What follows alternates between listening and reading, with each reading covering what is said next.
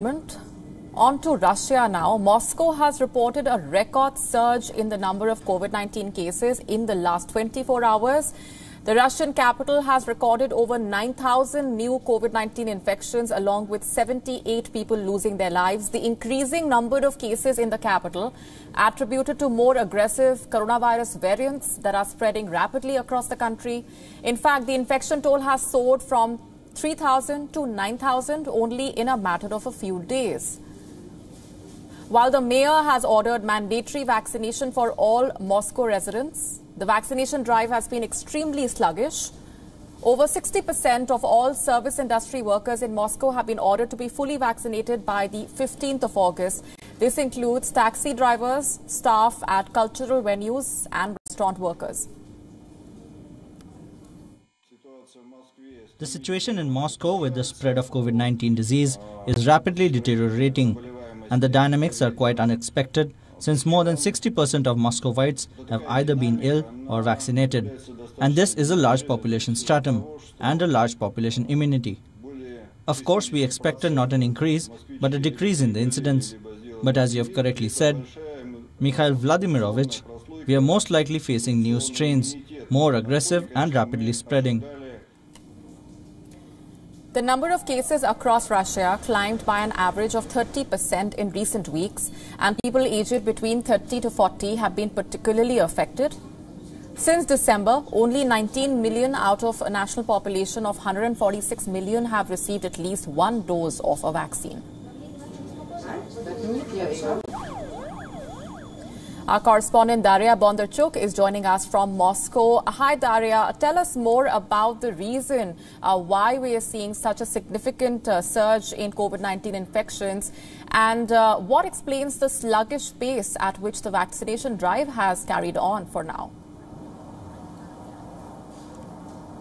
Well, the Kremlin spokesman Dmitry Peskov, uh, co commenting today on the recent spike in numbers, blamed low vaccination rates combined with a uh, sort of denialism of the public uh, resistance towards vaccine, as well as the uh, new super contagious strains of the virus that are, uh, as scientists believe, are circulating, at least in the Russian capital, where we've seen in, indeed uh, an increase, a number of over 90, of over 9,000 cases registered today. It's an absolute record so far throughout the pandemic for the Russian capital.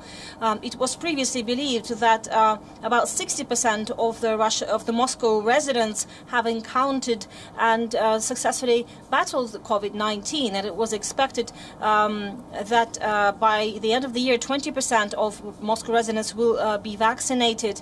But uh, at this point, we have seen uh, across Russia high numbers uh, of cases, uh, 17,262 uh, new cases uh, just today, and half of that registered in Moscow. As for the number of uh, deaths, we've seen the highest uh, day daily number of deaths since mid-March. And uh, while Russia's uh, uh, death toll statistics are a bit complicated and not quite in line with the sort of Western Europe and the US and the WHO standards, the scientists point to the digits registering excessive deaths in Russia, and that has recently been um, revealed that there were about 475,000 uh, deaths, uh, COVID related potentially, of excessive deaths uh, registered in Russia since the beginning of the pandemic. Quite a high number. At the same time, vaccination uh, rates uh, indeed are quite slow, uh, with only 11.7% of population um, having received both doses of the vaccine. the Kremlin has expressed um, its um, criticism of these low rates of vaccinations. And while uh, Russia's President Vladimir Putin had previously uh, uh, sort of uh, encouraged Russians that uh, the country is uh, nearing of a victory over COVID. And just early this uh, June, in the beginning of June, um, there was a major international business forum held in St. Petersburg. It was dubbed the first post-COVID international business uh, forum in the world with over 5,000 of attendants. Uh, of course, strict uh, anti-coronavirus measures there. Uh, and uh, Vladimir Putin, uh, using that platform, um, has said that it seems that the world is getting back to normal. And now we see these developments in uh, Russia, and the Russian authorities are stepping up uh, measures and restrictions to uh, slow down the spread of coronavirus in the country. Daria Bondarchuk, thanks very much for getting us up to speed with the latest uh, on ground in Moscow. Moving on for now, health services in the United Kingdom are all set to open COVID-19 vaccination for